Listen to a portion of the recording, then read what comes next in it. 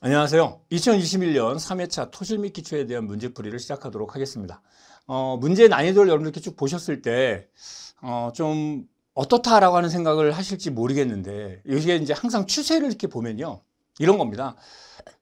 어, 저희가, 그러니까 저희 강사들이 이렇게 있잖아요. 뭐 이거에 대한 걸 꼭 하셔야 됩니다라고 하는 부분들을 그런 부분들로만 다 시험 문제가 나왔어요.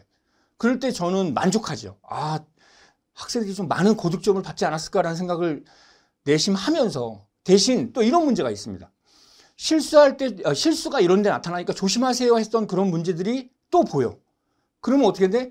마음이 아프죠. 아, 분명 또 이런 실수에 빠질 텐데라는 걱정을 하게 되는 문제들이 또 몇 문제 숨어 있어요. 그러니까 그런 문제들을 보면서 어 그러니까 덜렁대면 안 돼요. 시험 볼 때 마음이 막 긴장되고 여러분들 막 모의고사 볼 때는 마음 편하잖아요. 근데 시험장 가서 볼 때는 막 불안하죠. 그래서 어, 관연도 문제를 좀 풀어보세요 하는 게 관연도 문제를 외우라는 게 아니라 관연도 문제, 즉 시험 본 문제를 시험장에다 생각하고 하고 생각 문제를 풀어보는 겁니다. 그런 연습들을 좀 많이 해주시길 바랍니다. 먼저 1번 문제 보시면 두께 2cm의 점토 시료의 안밀이래. 그러면 안밀량이 90% 왔네? 어, 오케이, 좋아. 90% 왔어. 그러면 안밀량이 90% 왔는데 2cm에 대한 만큼인데 얘에 대한 것을 우리가 보면 2cm야. 그럼 2cm 오는데 점토실의 안미, 어, 안미 실험 결과 전 안밀량이 90%에 도달하는데 얼마 걸렸어? 1시간이 걸렸대. 이 문장이 문제 핵심이야. 그렇죠? 얘네들이 걸렸는데 만약 같은 조건에서 우리가 점토로 이루어진 2m의 토층 위에 구조물을 축조하겠답니다. 그러면 최종 치마량이 90%에 도달하는 그때 걸리는 시간은 그럼 봐. 딱 끊어봐. 앞에서 나온 문제와 뒤에서 나온 문제는 그렇지 비례식이에요. 음, 비례식이니까 이 비례식에 대한 개념을 그러면 어떻게 우리가 해결할 거냐라고 하는 거죠. 여러분들이 우리가 문제 해결에 대한 것들을 딱 했을 때, 아, 내가 그러면 어떻게 하면 되겠다? 어, 조건은 어떻게 돼? 어, CV야. 그럼 CV에 대한 값은 어떻게 한다 그랬어? T에, 오케이. T에. 감마에 대한 전체, TV. H제곱이야 라고 하는 부분이야. 그런데 안밀량이 90%에 걸리는데 시간이 1시간 걸렸대. 그럼 어떻게 돼가? 안밀량이 쑥 넘어가면 T하고 얘가 이렇게 가보면 T하고 H 제곱하고는 어떻게 돼? 비례야 반비례야? 비례한다는 걸 알 수 있잖아. 오케이. 어, 얘네들은 두 개는 비례하는구나. 이런 뜻이야. 그러면 문제를 우리가 어렵게 생각하지 말고 아 그래 한 시간 걸려. 오케이. 한 시간 걸려. 근데 그때 2cm야. 근데 뒤에 보니까 미터야. 그럼 단위를 하나 맞춰줘야 되겠지. 얘를 0.02라고 해놓고 제곱이야. 그런데 x는 얼마냐 이거 얼마만큼 2m로 할 때 2m로 할 때는 이꼬르가 아니지 2m로 할 때는 어떻게 되겠냐라는 거야. 그 x가 시간이야. 그럼 요렇게 요렇게 묶어서 x에 대한 것을 해보면 약분 금방 되니까 그치? 제곱 제곱 제곱 제곱 이거 제곱이니까 어 만 만이야. 만 시간 걸린다 이거야 만 시간. 한 시간 걸리는데 했는데 얘는 만 시간 걸리는데 그럼 만 시간인데 딱 보니까 없어. 어, 어떻게 되면 얘를 24로만 나눠주면 며칠 이렇게 나오겠죠. 그렇죠? 네, 그런 식이니까 제가 여러분들한테 강조하고 싶은 건 아, 문제를 좀 딱딱 끊어가면서 어, 얘가 요구하는 게 이거구나 라고 하는 부분들만 주의하시면서 단위 맞춰주면서 그러니까 서둘지 말라는 거야. 여러분들 많이 다 알고 있거든.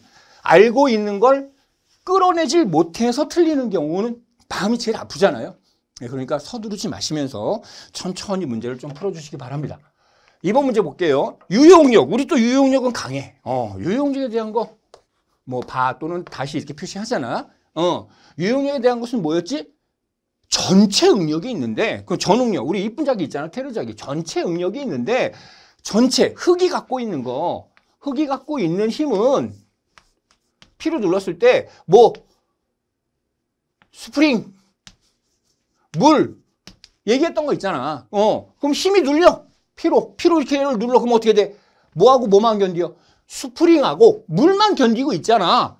이게 뭐야? 스프링하고 바나 또 뭐냐고 스프링하고 물이 견딘다 이거잖아. 그게 전응력이잖아. 그 중에 스프링, 스프링에 해당하는 게 뭐였지? 흙. 흙이 스프링이잖아. 그렇죠? 예, 얘가 유효응력. 유효하게 받을 수 있는 응력이다. 얘가 흙이잖아, 흙. 어, 그러니까 유효응력에 대한 것은 유효응력에 대한 것은 어떻게 돼? 전응력에서 공극수압을 빼준 거다. 유효응력을 바로 구할 수가 없다 그랬잖아. 어, 이런 과정을 거쳐서 구할 수 있다. 이거야. 그런데 틀린 걸 찾으래. 그럼 항상 전인역보다는 작은 값이다. 오케이. 이 공식만 봐보자 이거야. 어, 맞네. 근데 여기서 잠깐 항상이란 말. 항상. 그럼 항상이란 말은 뭐야?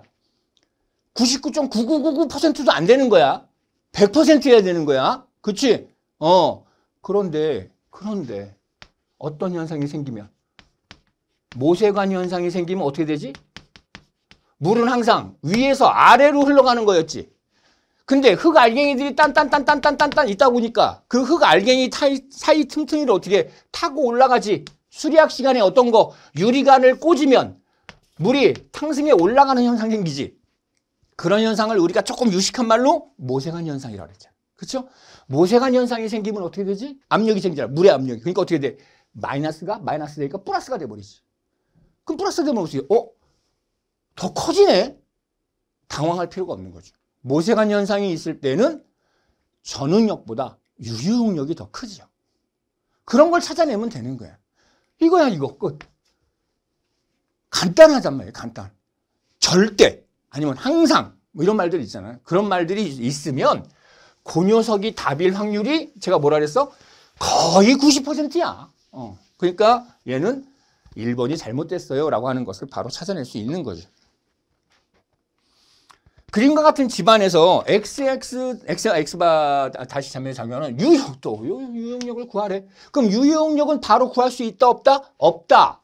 그럼 어떻게 구해야 된다? 전응력에서 구해 나가야 된다. 그럼 전응력에서 뭘 빼줘야 된다? 유효력을 빼주면 된다. 어, 그런 형태였죠. 근데 이건 뭐 거의 공식화 시킨 형태로 있으니까 바로 구해버리면 되지 뭐. 또는 바, 바다 뭐 형태로. 어, 이게 어떻게 돼? 감마 t네. 감마 t에 대해서 h 2m네. 그러면 감마 t의 h1.